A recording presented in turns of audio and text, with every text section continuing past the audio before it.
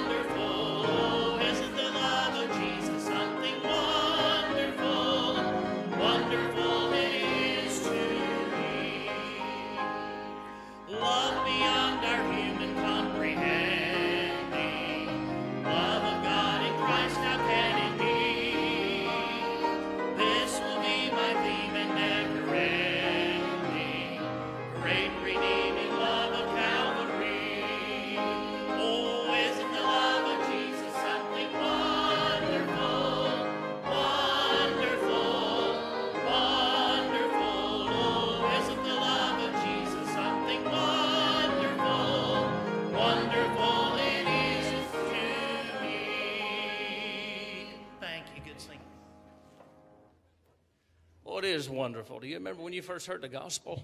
Somebody told you about it, you thought about it, then you received it. And then you told somebody else, and you found out telling somebody else and leading them just as good as getting saved all over again.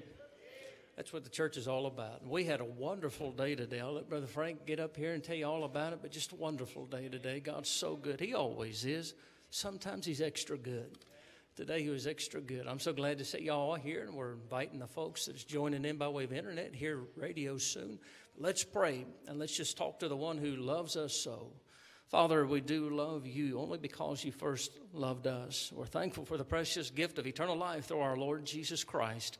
We exalt him right now and thank him for his wondrous love we just sung about. Lord, if there's one listening or present here away, Lord, that doesn't understand that, may they understand it through your help. Spirit of God, would you convict of sin and draw toward the Savior? Use the choir right now Prepare our hearts, Lord, for the engrafting of the word to follow.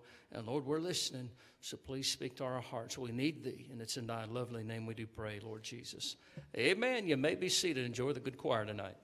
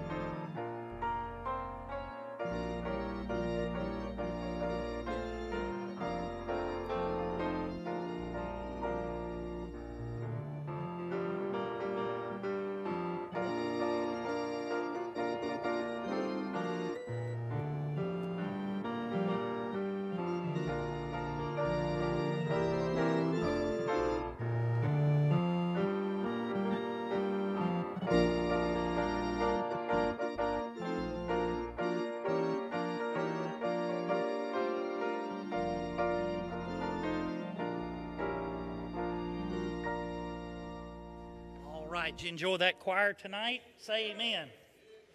I enjoy just being with them. That's awesome. They sing out, and I appreciate them doing that tonight. Just a reminder to our young people who we see a big crowd of them over here tonight. Thank y'all for sitting here, starting off uh, for our uh, bus workers and Sunday school conference. It's going to start tomorrow night. I've asked our young people to come sit with us.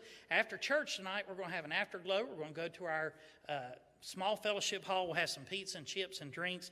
Want to invite them down there to have a good time of fellowship. Next Saturday, we are having a Nerf dart war activity in our gym. And you say, what is Nerf darts? Well, um, you just have to look it up. It's going to be fun. Uh, we're going to have a lot of activities. That'll start at 5:30 next Saturday evening. So all the young people are invited. You don't have to have guns or little Nerf dart things if you don't have them. We'll have some for you. And if you do bring some, make sure you put your name and initials on them if you want them back, because sometimes they find the good ones get gone. So look forward to doing that activity on Saturday at 5:30. Thank you for your time, Brother Frank. Thank you, Brother Brian, for all of that. Thank you, choir, for the good number up there. Wasn't that good? Good way to start the service off here tonight, thinking about that place over yonder that we're headed to. Amen for that. And uh, by the grace of God, we had 14 more that's headed there than was this morning. 14 saved in our different services. Isn't that a blessing to be able to hear that? I was thinking tonight uh, in the prayer room, there's rejoicing in the presence of the angels over one, and it ought to be a lot of rejoicing right here over 14. Amen. So the Lord give us a real good day, and we're grateful for that. And uh, all of the effort that went into this uh, special bus thing that we had is uh, appreciated. Everything that you've done. And Dan will probably be saying more about that a little bit later on. I'm not going to go into that, but our bus minister, if you notice to your, uh, your to your right, is that in the North Division they had a total of 124, and the uh, oh, let me get on the right page here. They had 124, and uh, it looked like uh, Joe Banner and his workers, Stanleyville route, was the leading uh, one bus in that division, South Division. Uh, they had a total of 132, and Weston, Blanca Costa, they had 50 uh, on their bus. Had some good numbers there. Look to your left, if you would, and you notice in the East Division they had a total of 110. And Kernville route, Judy Cruz and her workers had 32. The West Division, uh, West Salem B, Noah Balaram and Brother Ron Huffman had 30, and that was a leading route there. And there was a lot of work that went into every one of those routes, every one of them. And if you've worked the bus ministry, you know exactly what I'm talking about. But thank you, bus workers, and everybody that had a part in that this morning. Our A and B Sunday school teachers, uh, thank you for the good job that you do and always do do. Uh, there in our bus church, uh, there in our junior churches, and so forth. And uh, thank you for everything that you do in the services. It takes a lot to make the service go, does it not? And so we certainly appreciate that. Well, you know that Sunday night is that night when you get to shine if you don't do it but once a year. You get to do it on your birthday or anniversary or both, maybe. But if you had a birthday this past week, how about standing? Uh, just as a testimony to God's goodness for you for another year. Had one up there, Brother Matt. Had uh, okay, all right. We all right. Y'all like to stand up and sit down right quick, Steve? That's all right, buddy. Well, happy birthday to you anyway. The ladies trio is going to sing uh, for us later on. We'll dedicate that to you. Now, how this is good too. How about the second birth date now? The second birth. All right. Hey, here's two right off. Let's see how many more. How many more over here? Okay. Well, that second birth, I ought to say, is more important than the first, but it's equally important because you can't have the second without having the first one, right? Amen. Well, how about anniversaries now? If you had an anniversary, stand, remain standing, and we tell, uh, find out how many years you've been married. Anybody, anywhere. Don't let me miss anybody. Okay? Not only does old men, they can't hear, but they can't see but so far. we don't have no anniversaries. Okay, well, let me do this. Let me get right into uh, our announcements here tonight, and uh, then we will also uh, give you our prayer list and get right on down the line so Brother Dan can uh, get in the pulpit up here and preach for us here tonight. But I do hope that you'll avail yourself of uh, the uh, the bulletin that we put out, and it's a lot of work goes into this. And so get it, keep it with you, keep up with the announcements, keep up with the people that's in the hospital and so forth, and it'll help you also. But notice this that reaching the Triad for Christ ministry is restarting now uh, because of the weather thing and so forth. But if you'll notice in the newsletter where it says we're asking for a week of prayer and fasting starting today uh, through Saturday, March the 11th, choose one day to pray and fast and the different things to pray for there. I think that's a good idea. And get involved with this in some way or another this year. See more folks saved. And then also the Seed Line Ministry, you know what that is about, uh, correlating the Johns uh, and Roman scriptures is going to be given. And uh, Brother Matt just mentioned to me they're going to Brazil this year. Uh, but it's going to be a lot of collating that goes on, thousands of copies of it. And that's going to take place on March the 9th and the 11th, 8, to, uh, 8 a.m. to 8 p.m. And so keep that in mind. The, the widow ladies and single adult ladies over 55, uh, Monday, March the 13th from 11 a.m. to 1 in the small fellowship hall. Uh, you will have uh, your special meeting there. The cancer outreach is going to be the same day, Monday, March the 13th at 7 p.m. in the small fellowship hall. And uh, then March 18th is the Master Club's regionals, and they'll be here. And so be praying about that now and pray about our Masters Club, by the way. Uh, the, the Carters are over that right now, and I'm sure they would appreciate our prayers for them. And that's a tender age and a good age to reach boys and girls for Christ. And so pray about that if you would. And then let's don't forget our Christian school, not only to pray for it, uh, but they're open now for enrollment for the uh, upcoming year, and that's K3 through the 12th grade. And uh, spread the word around. Uh, folks interested in a good Christian school and so forth, tell them about Gospel Light. Have them call the school office, and uh, Miss Richards and uh, the crew there will take care of them. So remember these different announcements that we have here. And uh, then let's get into our prayer request. Well, there's a couple more announcements too. Hold on just a minute. Uh, the safety response team meeting tonight after church in the choir rehearsal room. And then, you know, March is the Pastor's Wives Appreciation Month. And so let's do something to show these ladies how we appreciate what they do and standing behind their husband. And uh, that is a big job. Trust me, I know. And uh, a, a, wife can add so much to the ministry of her husband, and ours do just that. And so let them know that you appreciate that, okay? Now, for uh, the newsletter, if you'll notice, let's continue to pray for the family of Brother Powell Petticord, you know, that went on to be with the Lord. Pray for uh, him if you would, or not him, but his family. And then home from the hospital, Miss Ann Pettis and uh, Brittany Webster and Ruby Whittington, Brother Robert Stroop, and then Steve Wagner uh, to the Countryside Manor, where he's going through some rehab there for a while. So remember that. Not in our newsletter, but do uh, continue to pray for Miss Sadie Testerman. Uh, she's under hospice care now. She's at hospice, and so pray for her. She's having uh, quite a struggle there. So remember Miss Sadie, if you would. 97 years old. I think she's our oldest uh, living member at this time, I think. And a special prayer request, Sandy Childers, and having uh, knee surgery Tuesday morning. Remember that. And then pray for the Hassel family, uh, loss of sister in law Wanda Hassel, and passed away on Saturday. And so remember that family along with the Petticords. And then a couple of cards here. Thank you cards. One from uh, Clarence Barrier. We call him T Bone but most of you know who I'm talking about. It says, Thank you, church family, for your love and prayers during my surgery. God's grace continues one day at a time, just as He promised. Clarence T Bone Barrier. Continue to pray for Clarence. And then also another card here from Brother Grady. And Brother Grady's been uh, under the weather here for some time. Glad to see him back. But, dear church family, thank you for the calls, cards, and visits. It's good to be back on my feet after almost four months. Thank you for keeping uh, our family in prayers also as my brother passed away last month, Grady Stevens. So remember that. And then also, by way of special prayer request here, Brother Jake Moser. Uh, who's having shoulder surgery on March the 8th, along with Edna Marshall having a hip replacement on March the 14th.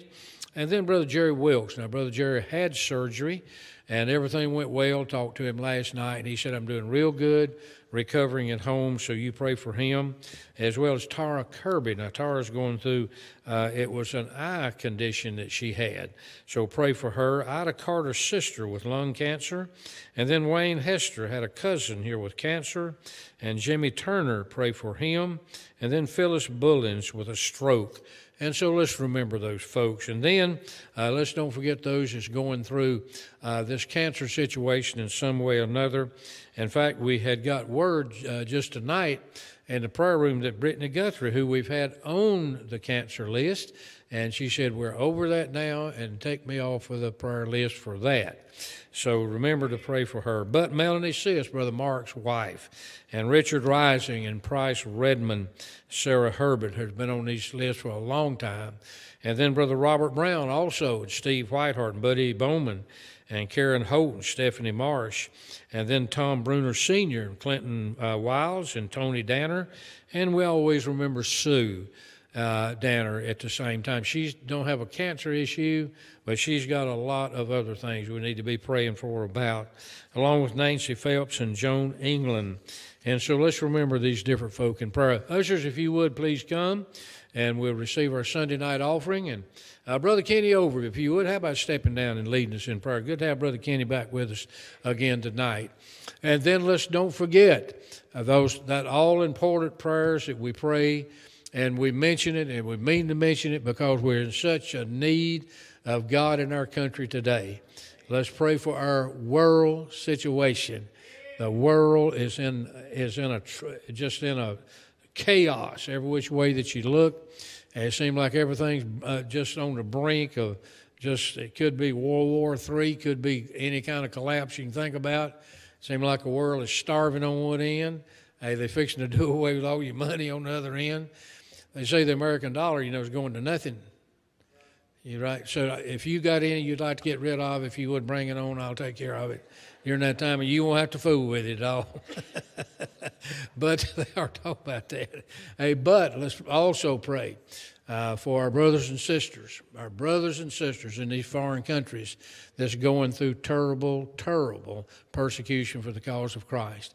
The leaders of our church and Brother Matt, our deacon board, and under him, there's several folks that's in uh, positions where they have to make decisions.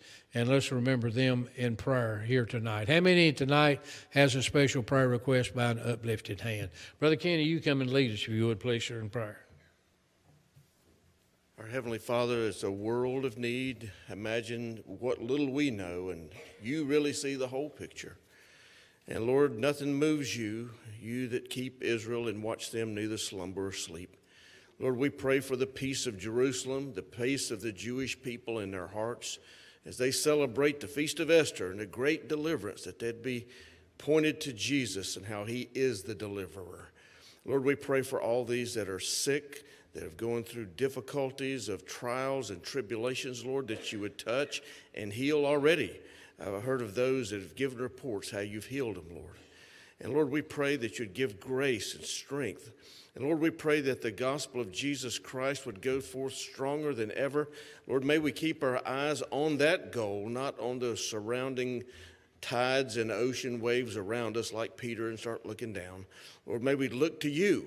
And Lord, may we be a part of passing the good news of the gospel on.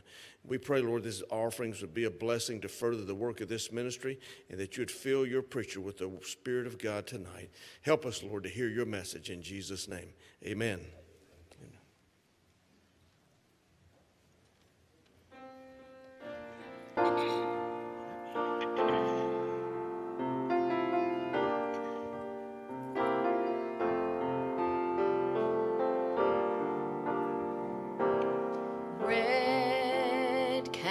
Explain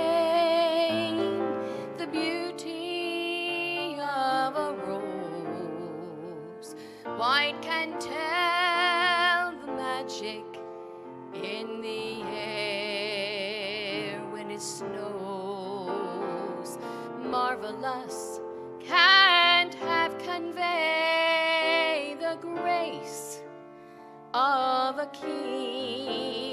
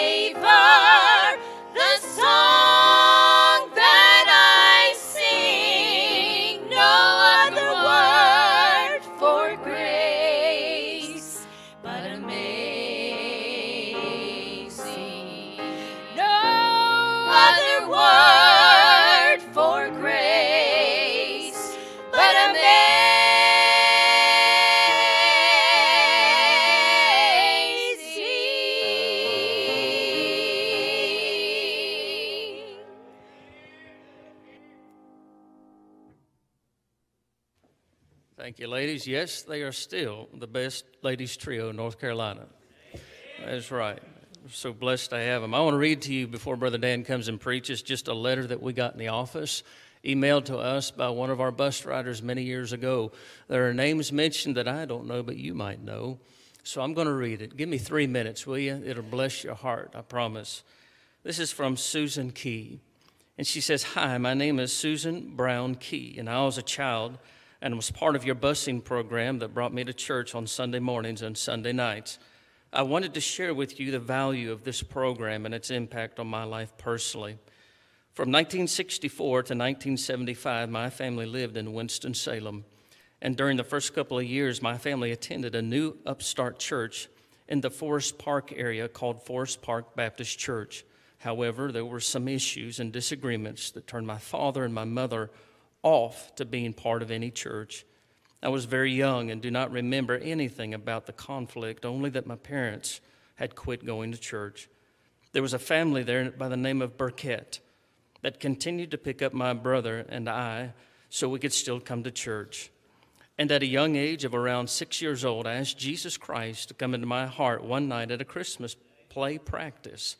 I remembered being thrilled, and as any new believer uh, was, I couldn't wait to go home and tell my parents that I had gotten saved. I remember busting through the door of the home that night and shouted out the good news, only for it to be received with, What are we going to do about this?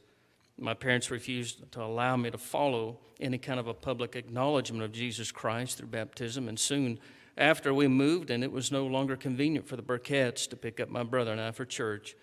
This was where your ministry came into my life. We moved to a new street, and one of our new neighbors occasionally visited the church. And I was able to go with them and do not remember how all the dots became connected, but soon I was on the bus to church on Sunday mornings and Sunday nights. There were many Sundays that my parents would not even was not able to get up, and I would wake myself, get dressed, and get ready to meet the bus. Each Sunday, the bus driver faithfully had something for me to eat and drink on the way to church and a snack for the ride back home. Through this ministry, Dr. Bobby Robertson, the bus driver, and others came to my home to talk to my mother and father to try to get them invested in, in their faith and reunited. It took a, a little over two years, but finally my parents agreed for me to be baptized. And I remember the excitement that that brought into my life. My mom came that Sunday night with her neighbor, but my dad would not come. Each Sunday, when the altar call was given, I would hit the altar and pray for mama and daddy. I remember praying and asking others to pray, especially for my daddy.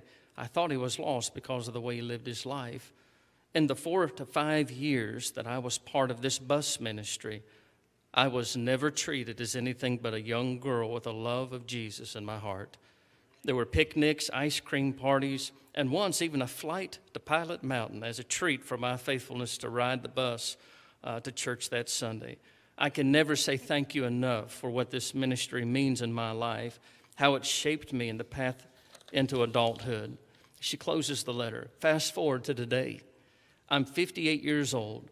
God has blessed me with a godly spouse who is serving as a local pastor to a small country church. I've taught youth Sunday school, directed VBS for a large home church, served in the North Carolina Baptist Assistance Team for VBS Sunday school, taught Bible drills, served as an association district and state judge. I'm not telling you these things as a measure to boast what I have done or am doing, but to simply say, Thank you for pouring your love into me as a child. I love the direction that I did not, I, I love uh, and appreciate the direction that I did not receive at home. When people discuss the bus ministry and ask, do we ever see the fruits? It is worth the, is it worth the cost? Is it worth the effort? Let me say to you today, yes. I was changed by the bus ministry and pray that it will continue for others out there like myself. As far as answered prayers, yes, my daddy and mama did get their hearts right. I was 27 years old, married, and had been on my own for a few years when this finally became an answered prayer. And my dad went on to serve as a deacon in his church until his death in 2020. I often think of my time at Gospel Light each time I hear the song that Ray Boltz sings Thank you for giving to the Lord. I was a life that was changed. Frustrated that I can't remember the faithful bus driver's name, but I have never forgotten his impact. In closing, let me just say once more thank you. Thank you. Isn't that good? And that could be that could be told time over and time over and time over. Brother Dan's going to come preach and, and tell us what we did today, but I just want to say this. Appreciate Brother Dan and what he's doing with our bus ministry and how he's been used in the school. He's, he's a true friend, a man of God. Come on, Brother Dan. All right. Am I on up there? I hope so. Many glad you're in church tonight? Man, I want to thank everybody that took part in that meal today. We had 400 and I think 39 is what it was, and uh, we had about that many workers, but that's good. We needed that too. And it would never happen without the workers directing traffic, uh, bus captains chasing kids down through the parking lot. You know, it was kind of good to see that. And, uh, and 14 got saved. And I just want to praise the Lord for everyone helping with that today. And I could go on, but good night. We want to getting ready to start this Moving Forward conference.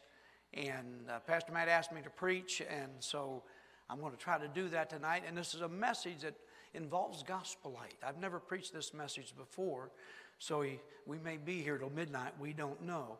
But uh, before I go any further, the girls in the office, the three secretaries, I have to announce, or I won't be allowed in the office, that right after church tonight, everyone that's signed up for the conference, make sure you go into the foyer. Don't come up here. Don't go to the choir uh, rehearsal out in the foyer, you know.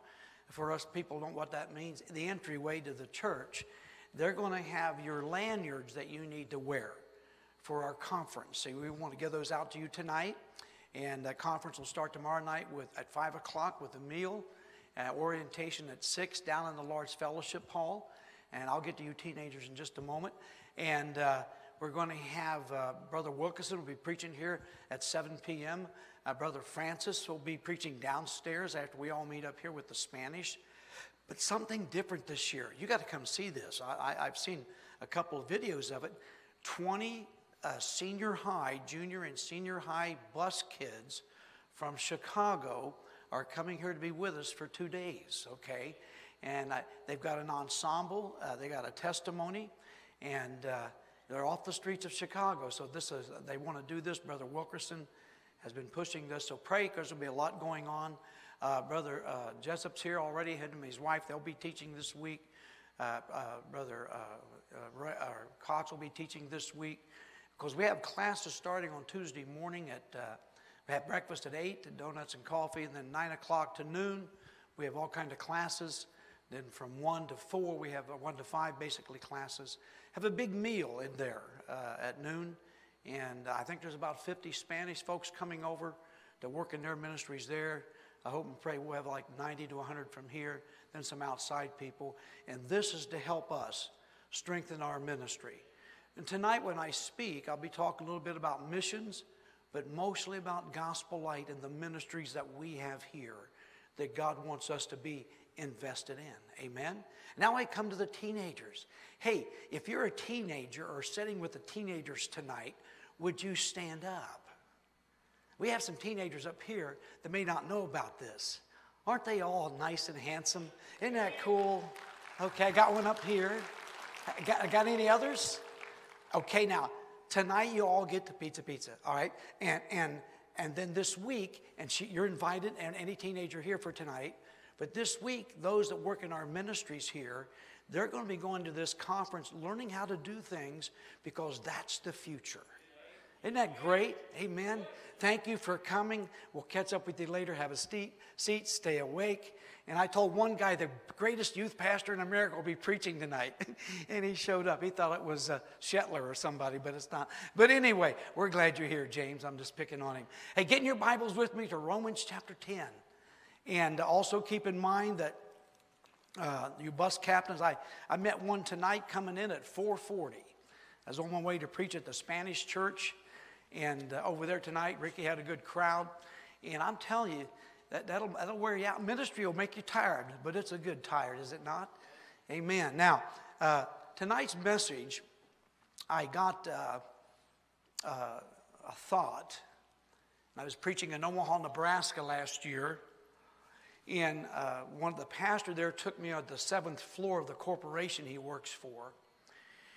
He took me into a large room, and it was the uh, kind of the uh, hub of the uh, this large corporation. It was 12 story, one building, and in that room was the thought, "Be the change," and uh, it dealt with uh, you know just a just a theme: be a change, be the change, and uh, in what we're doing. And do the right thing at the right time on the right day and had a thought uh, be the change, get right, and do your job better. I began to dwell on that a little bit. And, uh, and we have themes in our school, like All In, we had a theme, and We have a theme this year, Envision It. We've had themes in our school before, In His Steps. And Amy Holly was playing the piano for me to, uh, over at the Spanish church. I didn't coach her ahead of time. And the year she was hired, I think over 20 years ago, here to teach, I asked her, What was the theme of the first year? And she never forgot it focused. Focus. Stay focused. You know, uh, being a theme as we start this week, I want to encourage us to think about the thought be the change or be the cause. Be the cause that God's put in, put in our hearts. You know, when David took down Goliath, he said the statement, Is there not a cause?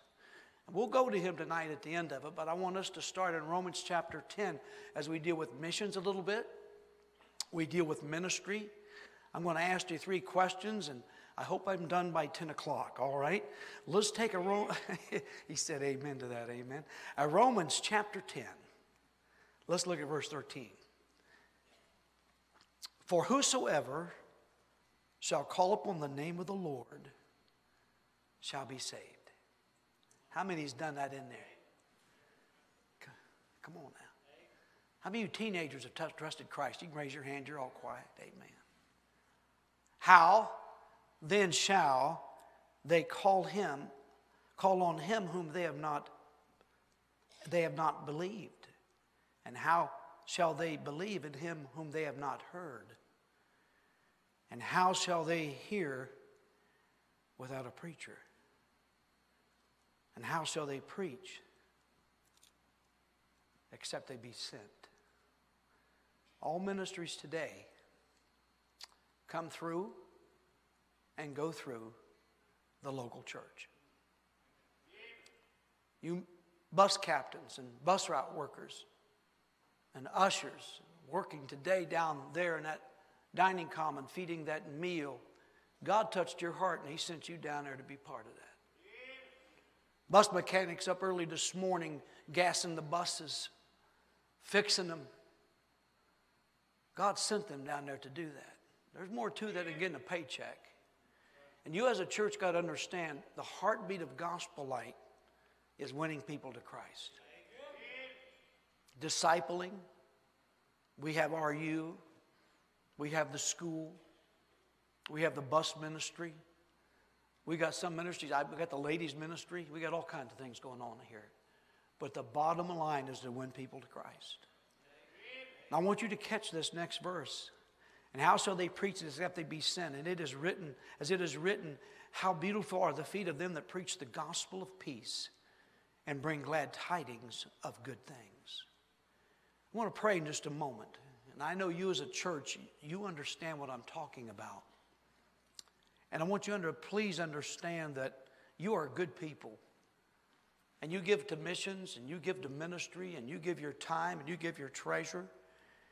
But I want you to understand tonight when we come to the decision making time, it is so important that His will lives through your life. There's more to it than just coming and listening. He wants us to be getting involved. And He made this statement For whosoever shall call upon the name of the Lord shall be saved. But then it says in the next verse, He needs to send us. In the next verse, he does do, this to us. I'm going to pray and start a story that starts at Gospel Light, and I hope to end it up at Gospel Light. Got to saddle up. Just a couple of thoughts. I've never preached this before, and it takes me sometimes a while to get it down. But I want you to let God speak to you tonight. Amen. Let's pray. Father, we come to you tonight and thank you. These people sitting here tonight, teenagers, young people, parents, grandparents, children, they all want to please you. May we tonight listen to your word and apply it to your will for our lives and do that in the way you want us to do it. Let us be the cause that you use in someone's life. Like Pastor Matt read this letter tonight, he had no idea what I was going to start the message with tonight. But praise the Lord for some bus captain that answered the call in his life and her life and that woman, that family where they are today because they, they, they were the cause. They were the people that you used. May we do this again. May we challenge the young people tonight. May we challenge the older people tonight that everything we do and say will honor you here. And Father, we pray these things in your name. Amen. Now we're only going to go to two portions of Scripture tonight. This one here, and then back to uh, First Kings, but I want or First Samuel. But I want to say something, and that is this: God's heart is to love the world. And whether we got missionaries here tonight uh, visiting, and I want you to understand, and, and no matter where you're at in the world, whatever church you're in, God, His heart is to love the world. But you know what? As I look out in front of me tonight, there's some unlovely people sitting in front of me. Now, don't, I, I don't mean to insult you, but weren't you all sinners? huh? Got any ugly sinners in here that is saved through the blood of the Lord Jesus Christ? Amen. And uh, God loves us. He died on the cross without, for us. And can I take it another step? God loves those that we don't love. Famous preacher once told me from this pulpit God demands us to love everybody. That doesn't mean we have to like them. That was one of Bobby Robertson's quotes. You're in the ministry long enough, you'll catch on to what he's saying. You know, in our culture, in our world, and I got to be honest, it is hard to love things that does not love God. It is hard to love people that does not love God's word. It's hard to love people that hate who we are and what we are. But you know, God loves them. Amen. A little girl sitting in the meeting today, and she scared me, Brother Matt, that one on Peach Route. And she's special. And Pete got first place or whatever, and she let out a squall. Wowee! I thought somebody fell. And she run up, she said, I'm so happy you gave him all the money, because that means I'm going to get money. you know, I want to say this. We have, we've been commissioned by God in Matthew 28, verse 19 and 20. All power is given. We're supposed to teach and preach the gospel to every creature. And this, this is all powers given. And he says, Lo, I am with you always. But there's some things we have to understand here. Being commissioned, God loves the world. And our job and our calling, and may I say our cause, from the moment Christ died on the cross, crucified, rose again the third day, he had it planned before then. He's got it planned after then. After that, I want you to understand that what we're doing tonight, what we're doing this week, is not uh, Brother Frank's uh, idea. It's not Pastor uh, Matt's idea. It's not uh, John Wilkerson's idea. It's not Gospel Light Baptist Church's idea. Uh, someone has, uh, didn't invent this. Missions and ministry started and commissioned by the Lord Jesus Christ. Now you get that. Now my question is this it's one thing to talk about missions and reaching the world. It's one thing to have a ministry conference and how to do it. But how do we get people to participate in ministry? You know, this the uh, the thought of be the cause. You think about that. I want Gospel Light Baptist Church to be a, not be a spectator church. Y'all know what a spectator church is? Now, I usually preach in three churches, three types of churches those that watch it happen, those that have no idea what's happening, and the last churches are those that are making things go. Amen. Now, I want you to understand Gospel Light needs to be a church that is a participating church. And it's more than just running the bus routes and teaching the classes, and, and, and it's more than just uh, uh, doing the youth group or doing a camp. It is doing what God has called us to do, and that is reach this world for Him. You know, may I say this? You need to be the cause in reaching our community. I want to be the cause to have Gospel Light Baptist Church support more missionaries. I want to be the cause to reach more folks for Christ through the bus ministry. I want to be the cause uh, to be, watch this, the triad, reach the triad. I want to be the cause to raise that three year old in my Sunday school class. Um, like Miss Richards, I want to be the cause, the principal that keeps the school going in the right direction. I want to be the one that uh, preaches that chapel. I want to be the one that corrects that kid. I want to be the one that loves on that bus kid that no one else loves. You want to be the cause. God wants to prepare you for this. He wants to use you for this. I'd been here about a month, And Brother Frank remembers Randy Childress. Randy Childress, uh, he would tell you, and he told me, he said Brother DeLong, now he was shy, but he'd, he'd invite a rock to come to church. And he was a bus kid. He come up to me after a bus meeting. He said, Hey, my name's Randy. Everybody calls me Chili Bean. I said, That's he looked like a chili bean, didn't he? Randy was a little short guy like me, and when he talked to you, he had a hard time looking at you. And he looked at me, and I went out on his bus route to go with him, and he was struggling. He looked at me at the first stop, and he said, Brother DeLong, I sure do love you, but I need help. I don't have the intelligence of other people. I can't talk real good. But he said, I've got a heart that loves these bus kids because I am one. And he says, I, I know, I know I've been called by God to pick up bus kids at Gospel Light Baptist Church. You know, when I remember him saying that, and I want you to understand, as by way of introduction, and I want you to catch this, and I want it to sink home. We live in a world, we live with churches that I've preached at the last 20 years that have a, many of them has lost their cause. And I have the privilege to travel. And I want to say this church is one of the top two or three churches in America where I preach at that has not lost the heart to bring people to Christ. There may be others out there, I just do not know them. But I want us to understand I have three simple questions tonight to ask. As we go into this conference this week, as we go here tonight, I want you to catch this first question Do you believe in the power of the gospel? Do you believe in the power of the gospel? You know, it says in Romans 10 13, you can look there again, whosoever shall call upon the name of the Lord shall be saved. That's it. And I want you to understand in uh, Matthew chapter 28, verse 19 and 20, I already told you about the Great Commission.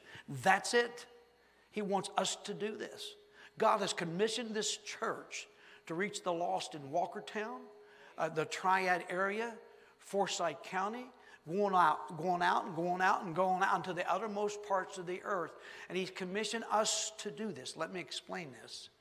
I got saved at Camp Provida. You've been right there by it, Matt, back up in the hill country there above West Virginia and Ohio. And uh, for eight years, my mom would send me to a camp. And I was unsaved as a dog. I, I, you know, I was raised in a Christian home, but I wasn't saved. And there was a man in our church named Jim Beaver, and he owned a mechanic shop, a Sohio station. And uh, she commissioned him to witness to me. I didn't know it at the time. And, and she said, I talked to my boy, and she told Jim Beaver, she said, I've been talking to Danny he's one, and Sam, the twins. There's two of us. And that Danny's hard headed. He listens to God's word, but he hasn't moved. And he said, I, am going I'm to fix you a blueberry pie. And Dan's going to bring it to you. And I need a tire fixed on the tractor. He'll bring that with him. And when you get him in there fixing that tire, she said, Take your time and you get into him a little bit. So I went there, a, a numb and dumb teenager, and I, I had that pie in my hand, and, and I was rolling the tire into the gas station. He, hey, Danny, good to see you, Jim uh, Beaver said. And I'm holding that pie, and he said, I'm not going to take it. He said, I want you to stand here for a minute, I need to talk to you. And he took that, and I'm holding the pie, he's backing me up, going through the Romans Road, you know. And it took him 15 minutes. The tire sitting there, I'm holding the pie, and I said, I got to go. And I did not get saved. A week later, I was at camp. August 15th, 1969, Hal Webb preached a message. The Russians are coming, the Russians are coming. I didn't get saved, young people. I was too proud to go forward, so I stayed in the back and waited. I went to my cabin and tried to go to sleep. I could not. And at 11:25, I got out of that bunk, walked from here to the back of this church. Jim Beaver sitting in the cookhouse with the lights on, fresh pot of coffee. I walked in and said, "I need to be saved."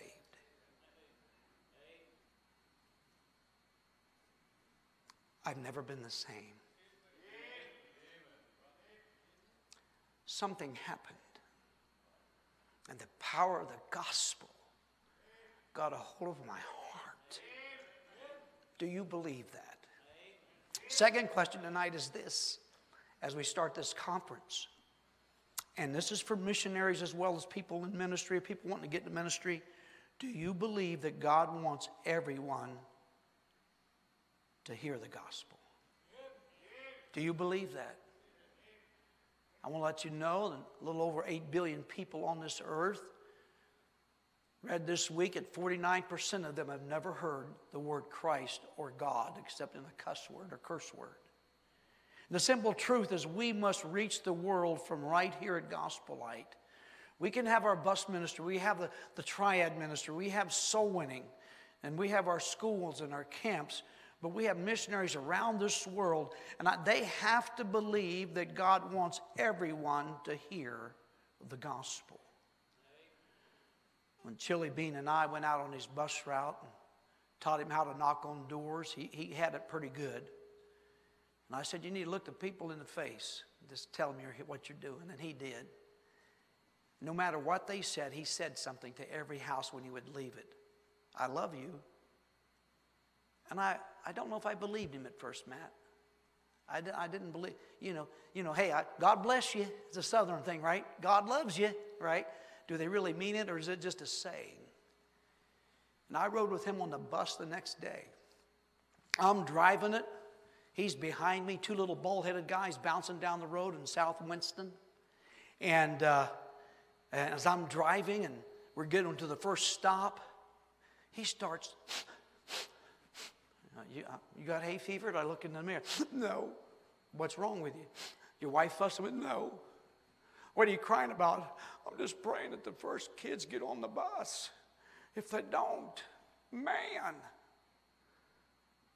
Wow. Do you see much of that anymore? Little old bus kid. Come from the other side of the tracks in Winston-Salem. Frank, you know what I'm saying? He was from the other side. He couldn't find the book of Genesis. He said, I didn't know where it was in the Bible. But the God got a hold of that man's heart, and it wasn't about his education, it wasn't about his upbringing. He made a decision, and he said this that morning to me I believe every, God wants everybody in my bus area saved. Do you believe that? Third question. Listen very carefully. It's this Do you believe that God wants to enable you and others to get into the ministry of gospel light and also into missions? Look what it says in chapter 10, verse 15. And how shall they preach? except they be sent. How shall they preach? Who does the sending is the Holy Spirit. Who does the calling is God. And let me remind you will you be that cause? Apostle Paul's serving God, and God's blessed him in these ministries, and he's just got it going on, him and his missionary team. And they're sitting there praying where to go, and you see in the book of Acts, they, they wanted to go this way, and Holy Spirit said no. He wanted to go that way, and the Holy Spirit said no. And he said, I want to go this way, and he said no. That Macedonian call came, you know, that in the night. When Paul listened to that Macedonian call, the Bible says, we immediately endeavored to go. Now, let me stop you for just a moment. And don't get me wrong when I say this. I think welding ministries are great. I think raising cattle on the mission field is okay. But that's not the number one thing for missions. Because when he said, Paul, here's what you're supposed to do, Paul, when you go to Macedonia. Now, catch this preach the gospel. Hashtag in a story. Preach the gospel. The third question tonight is this Do you believe that God wants to enable you and others in this church to get into missions, but also get into ministry? How shall they hear unless they have a preacher? And that preacher will be sent. That's how God works. Amen. How many of you people can recall the person that led you to Christ? How many got saved the very first time you heard the gospel? One, two, maybe three. How many have that person that would not let go of you? They stayed after you. They prayed over you and you got saved. Could you raise your hand? That you're the call. They are the, they're the cause for you being here tonight. And God wants to use every one of us, and He has a cause for every one of us. But I want to give you a real quick picture tonight. This is my second thought, and that's found with me. Go in your Bibles now to 1 Samuel 17. And I want you to catch this as I switch the thought here. Goliath is a bad dude. And Goliath has been given Saul heartburn for 40 days. And Saul's army is there, ready to do battle with the Philistines. And the Bible says the battle was set in array. Military people, that means the Philistines are behind this ditch on the mountainside, and the Israelis are behind this ditch on this side of the mountainside, and right down through that valley of Elah is that creek. Thousands of Israelis here, and, and the Philistines is here. I want you to catch the thought here. And for 40 days, Goliath would come out and just curse and swear and call out the God of heaven. And the Israeli soldiers, every time Goliath would do that, oh, they were dressed in their uniforms. Oh, they looked shining in their outfits. And they're in God's army. But when Goliath came, these guys timidly all went and sat down. They hunkered down in that ditch. They got behind that tree. And uh, when Goliath would do his thing, and when God, Goliath would call God out and defame everything we believe in, they just sat around and they wish someone else would do something. Somebody take the big guy down. David, by the orders of his daddy, you know the story.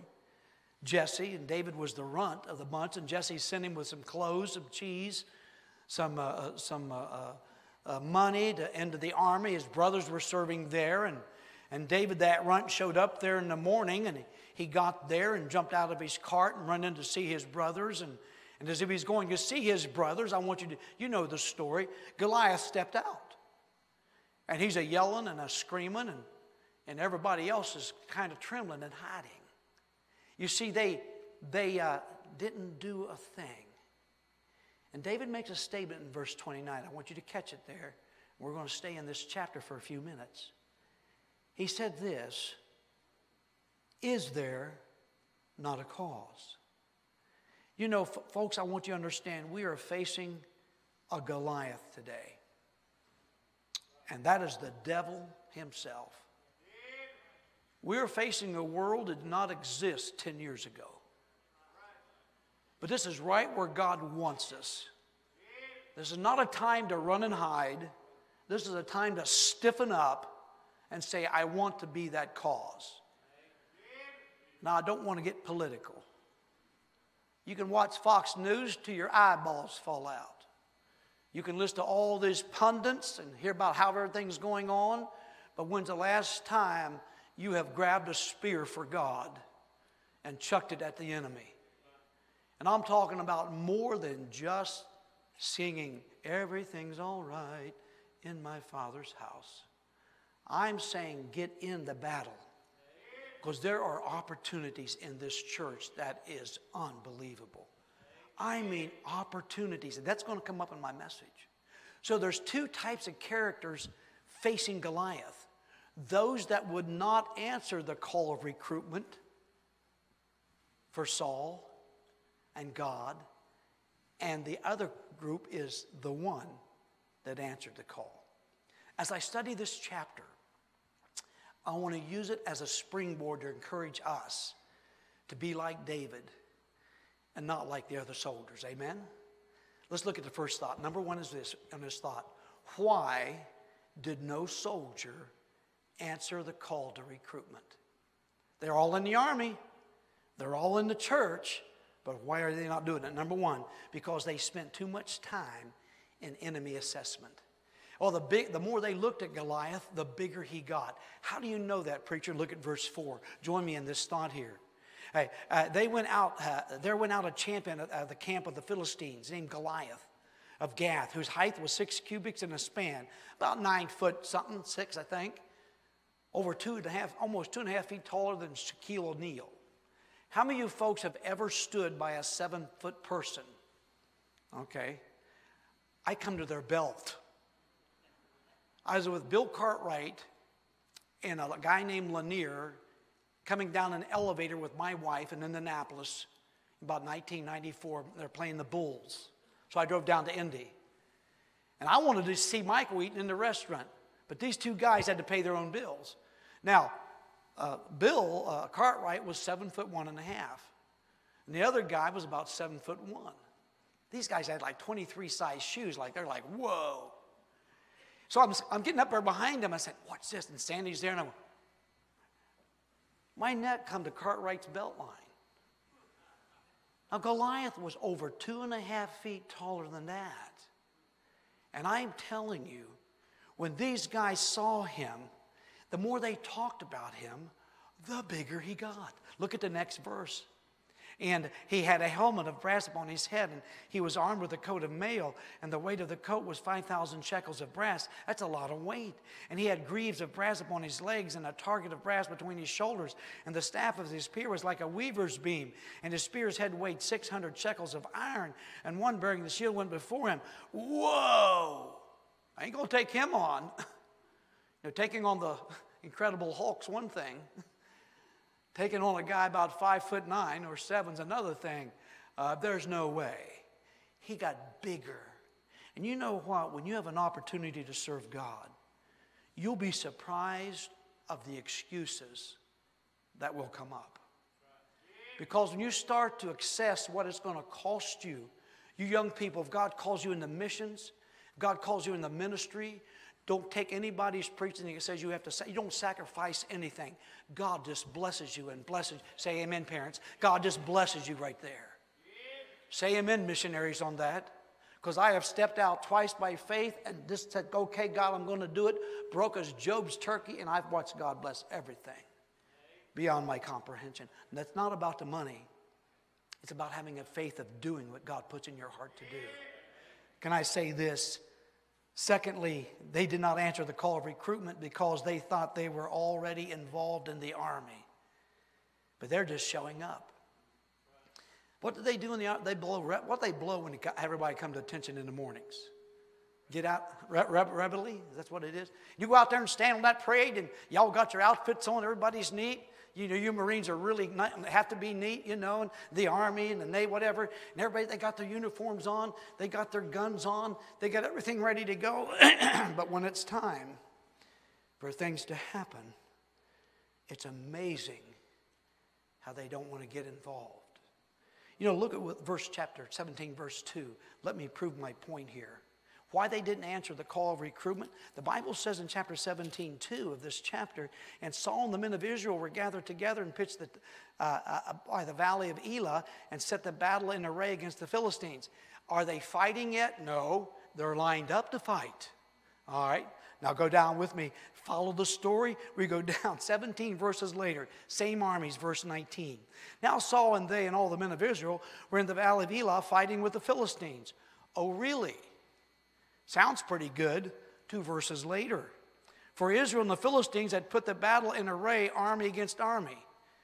They're kind of doing a, looking at each other. We're going to throw down. We're going to go at it right now. Yeah, yeah, yeah, yeah, yeah, yeah. How many's ever seen guys wanting to get in a fight and they just talk but they do nothing? The guy that does not talk, you got to be aware of. Amen.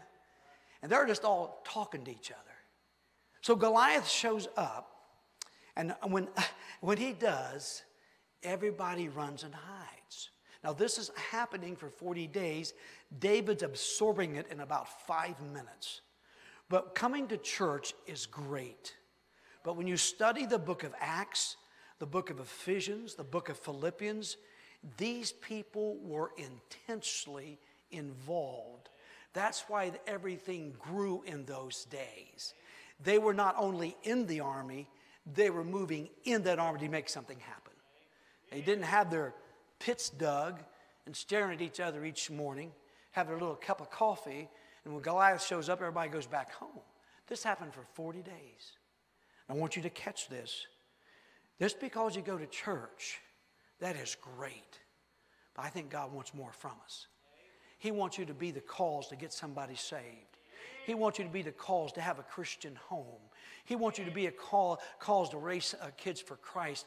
He wants you to be the cause to, to have enough faith to step out in missions or step out in bus ministry or step out in Sunday school ministry, step out soul winning in the Triad. He wants that in this church.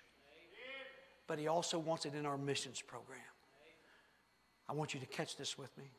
Since the pandemic, now we're post pandemic. Brother Jessup, you travel a lot. You'll get this, and some of you, and, and, and the other missionaries in here. And, and uh, things have happened. Uh, only about half of the churches are sh- showing back up. Uh, excusing is a new term. Everyone is excusing. Uh, they don't want to go back to church. They can just hear it on the radio. And they don't, they're not getting any spiritual food. And the devil starts to taunt us, doesn't he? He starts to get after our families. He starts to get after the direction that we want to go. And I want to assure you tonight that I'm not speaking to one person in here. I'm speaking to myself and nation and churches around this nation. The Goliath today, there's a picture of the devil. And he wants to scare us out. He wants to discourage us. He, he politely wants us just to go and sit down. Chili Bean told me about three years in, Brother Frank, his route had grown. And uh, he said, Brother DeLong, I want to take you back on my bus route. And we went. He got his crying under control. That route grew from five or six. And, and he never had no education. He'd tell you that. And he didn't have any. He just worked as a millwright. And, but he never would miss a Saturday visitation unless he was sick. He would never miss. He would he just faithful. He said, I may not be the smartest. He said, Brother Long, I may not be the best speaker, and he wasn't, but he said, I want to be the most faithful person here. And I watched God bless his faithfulness. I watched God bless him because he would listen and he would apply. And he actually believed in what was being taught. And I'm telling that little route grew, that little route doubled. And I mean, I could be in a prayer meeting with him, and you just planned on staying for an hour because he would use, mention everybody in that thing. I think God blesses that, don't you? I want you to understand the third reason and last why these soldiers did not answer the call to recruitment is this they were objects of low motivation. Look at verse 25. Now, you young people, listen to this. Low motivation. And the men of Israel said to David, Have ye seen this man that come out surely to defy Israel? And he come up, and it shall be that the man that killeth him, the king will enrich him with great riches, and will give him his daughter, and make his father's house free in Israel. Are you kidding me? You talk about the whole enchilada, the cake and ice cream. He gets not a little bit of money, and he don't get a $5 gift card for Chick-fil-A. He gets a $5 million gift card for all of Israel. Great riches Saul promised him. Secondly, he gets the big boy's daughter. You talk about the perks that come with that.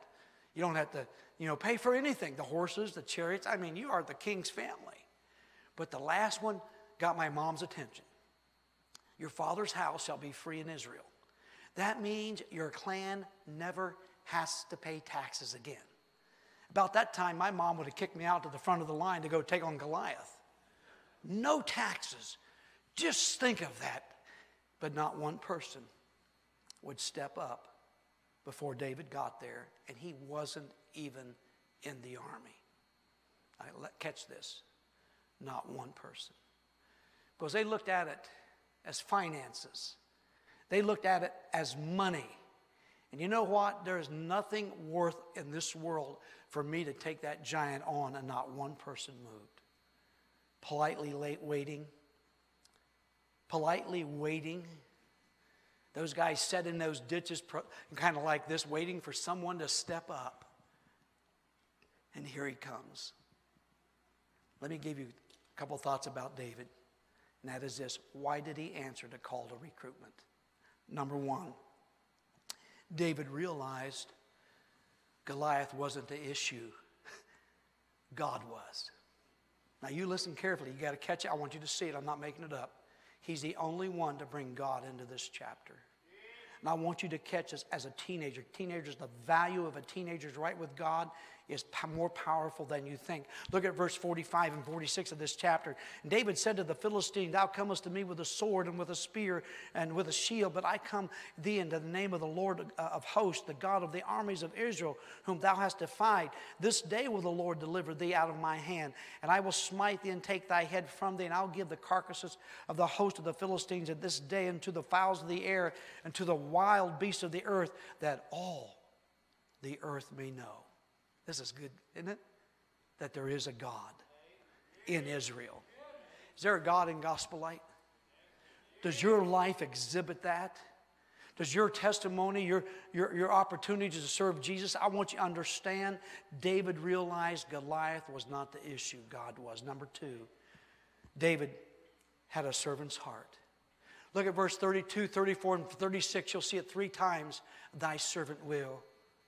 Thy servant did. He didn't have a big puffed up thing in him. He didn't have the pride yet in him. He hadn't been contaminated by the king's household and by what was going on around him. David had a pure 15, 16, 17 year old heart that trusted God with everything. And that's right where God had wanted to use him. He had a servant's heart. You don't see one soldier serving anybody before David shows up. Number three, David answered the call to recruitment because of past accomplishments of what God has done for him. Do you know Christ is your Savior? Could you raise your hand tonight? That's cool. How many ever got in a mess after you got saved? It's on you. Not so many hands are going up. How many's ever made a mistake, lost your temper, said the wrong thing, threw your faith out the window? How many's made those mistakes? Now you can put your hands down, listen very carefully. God will use you. He wants to use you. Because if he can take care of that lion, and he can take care of that bear for David, now watch me. You can take care of that, listen to me, men, that pride thing, that's the bear.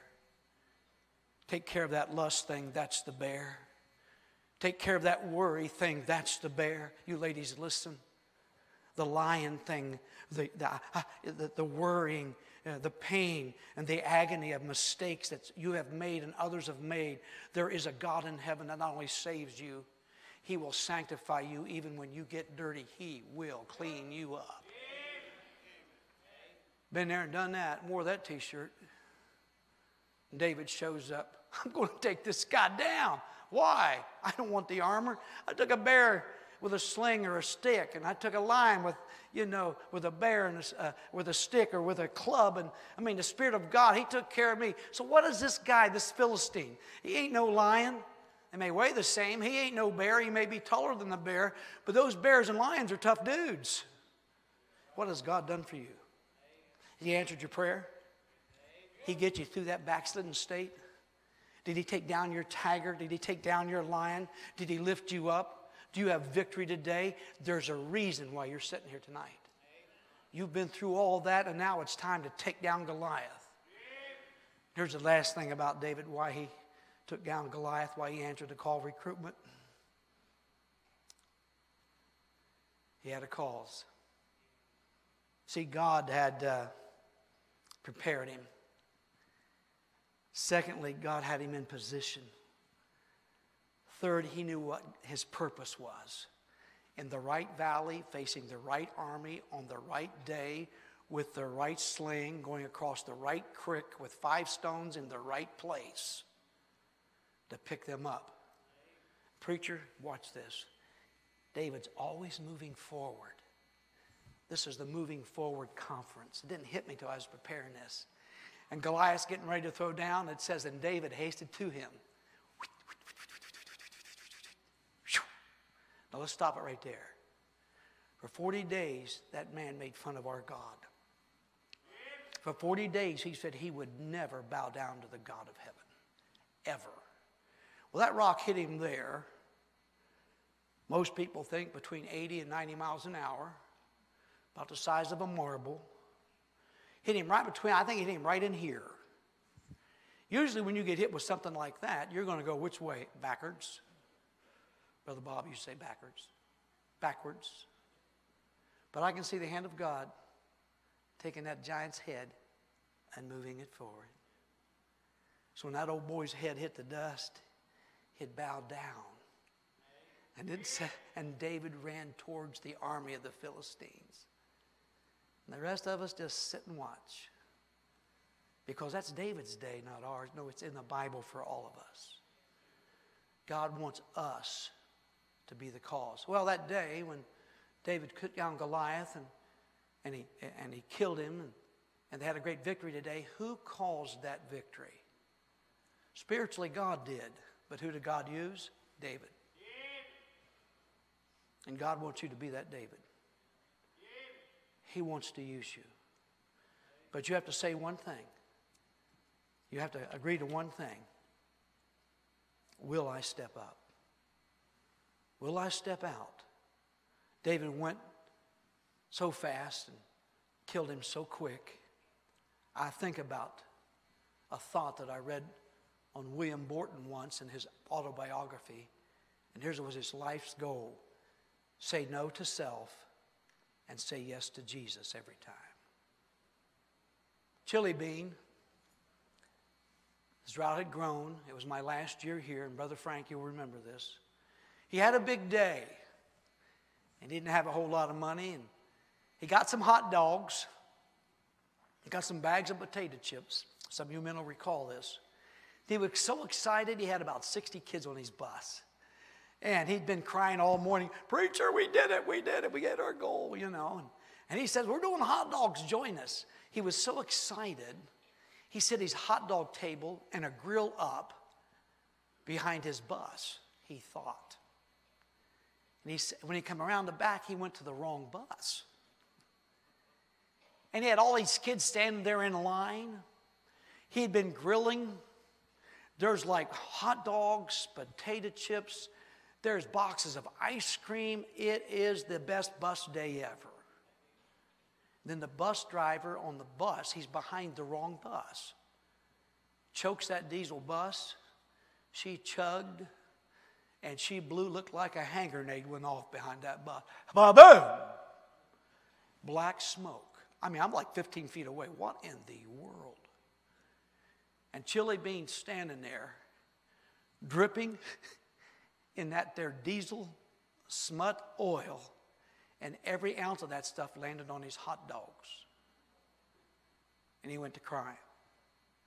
The kids are in shock, and I run back there. What happened? And he said, I don't know. he made an honest mistake.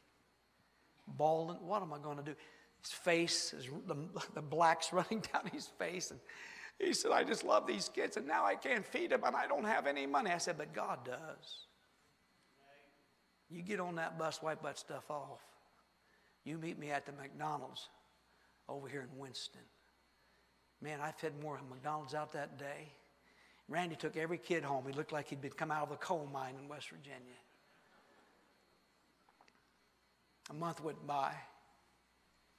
And he said, Brother Dan, I think God's calling me into missions.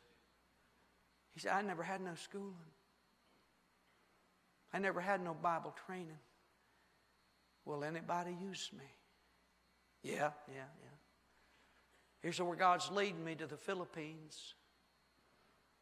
And uh, a little mission board used him. And he didn't go to the uppy places.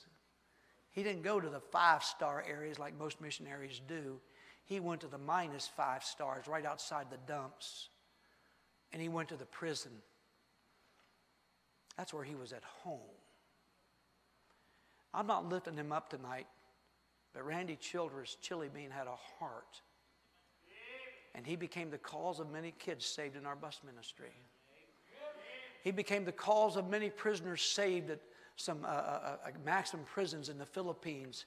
And he was the cause of many trusting Christ in a little ghetto church on the backside of a city dump because he had a heart. And he said, I just want to be the cause to get people to Jesus. All God's people said, I want you to answer one question tonight as I close. Do you believe that God wants to enable you and others to go reach the lost in this community and around the world? If you do, you step up like David and you be the cause of this ministry growing and going and doing what God wants us to do. Heads are bowed, eyes are closed. So we get ready to do the invitation. I know it was a different message tonight, but I hope it's one that will ring true to our hearts as we start this conference. I want you to understand God wants to prepare you. You young people, God has a plan. And He has a purpose for you. You older people, God wants you. God wants to use you. There's no age limit on this. And I just want, uh, as a church, to encourage you to think on these things and apply them as we go into this conference.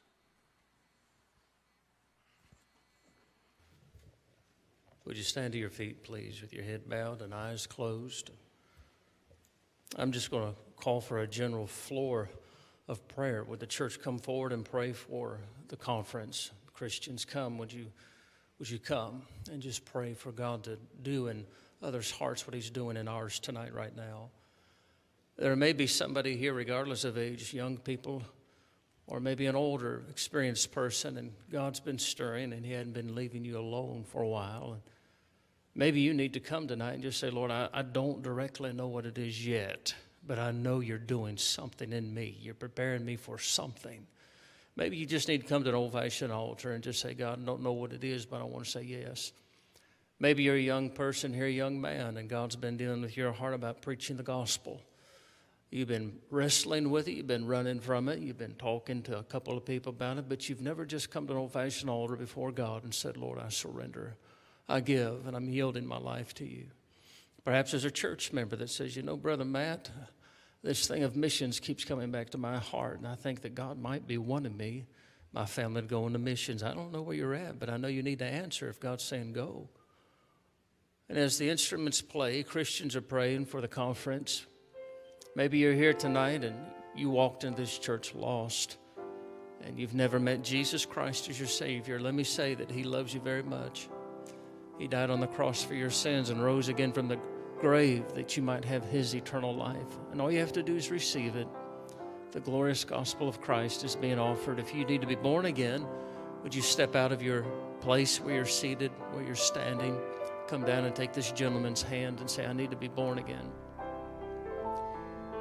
Whether you're at the altar or at the pew, let's just implore God do something, do something special in this church, through our church, do something in my life and through my life.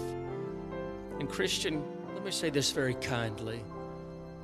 If you're here and your, your heart is one of a stone or very callous and hard, I'm praying for you.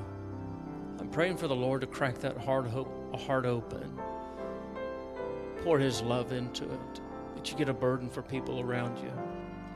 Help us, Lord. Brother Brian, come and finish our altar time with a song, please. If you need to come, if there's still time. Have you any room for Jesus?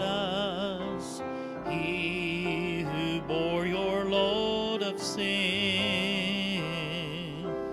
As he knocks and asks admission, sinner,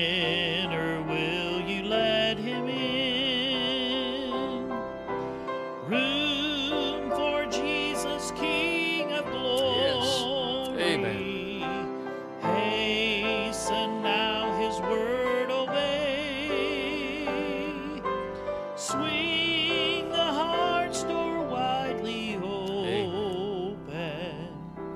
Bid him enter while you may. I'm excited for the week to start because God's done something special here tonight. And He's preparing the field for harvest. And one of those unique things that happen is when folks like Miss Joy Bass, would you come up? Miss Trina, would you come and stand beside Miss Joy? She came up this morning after church and said, God spoke to my heart, and this is where I need to be a church member.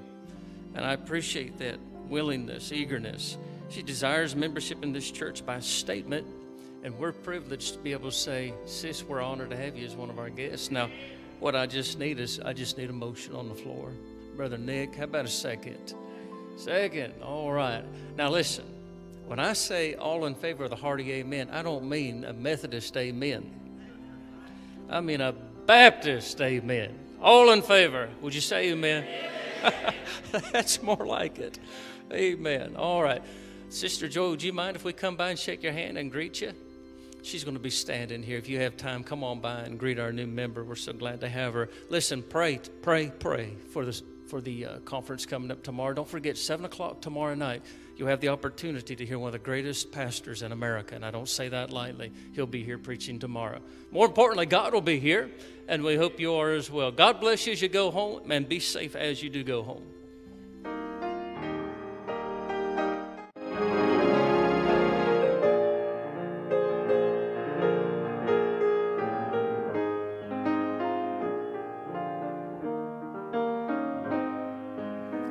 We trust that the Lord spoke to your heart through our online services today.